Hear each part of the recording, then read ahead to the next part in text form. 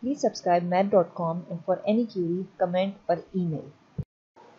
After understanding the concept of terminating and non-terminating uh, uh, numbers, we will see today that how you can uh, identify the terminating and non-terminating numbers without divi division, without dividing them uh, to identify whether they are terminating or non-terminating. There is a rule that you have to follow in order to identify that which ones are terminating and which ones are non-terminating. Okay, according to the rule, it is stated as if the we are talking about rational number here if the denominator of a rational number has no prime factors other than 2 or 5 then rational number is terminating this is the rule that you have to follow in order to identify that which rational numbers are terminating and which are non-terminating without dividing them otherwise other than this rule the given rational number will be non-terminating let's have an example to get the concept clear if you will be asked to identify whether the number 9 over 7 is a is a terminating rational number or a non-terminating number. Now how you will identify?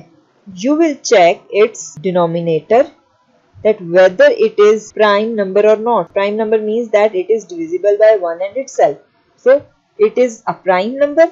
So if it is a prime number, it means that it is a non-terminating uh, rational number. It is a non-terminating rational number. But one thing keep in mind that this will not be the case when in the uh, when in the denominator there are 2 or 5. 2 or 5 are also prime factors.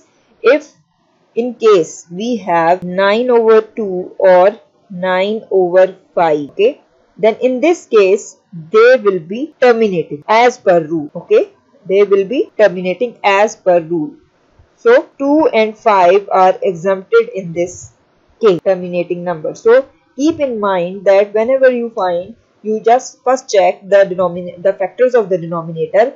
If the factors are 2 or 5, they will be terminating and if other than that then they will be non-terminating let's have one more a few more examples and uh, and find out whether they are terminating or not if we are given with 5 over 8 and you have you will be asked to check whether it is terminating or non-terminating rather than division. So what you will do, you will check its factors as 2 into 2 into 2 and 2 is what?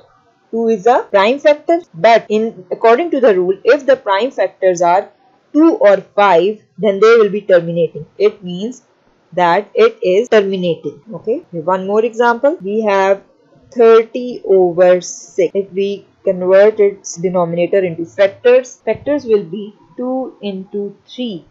Now in this case, these are the prime factors. Yes, 2 and 3 both are the prime factors. But in this case, we are not having the prime factor 2 alone. There is also 3.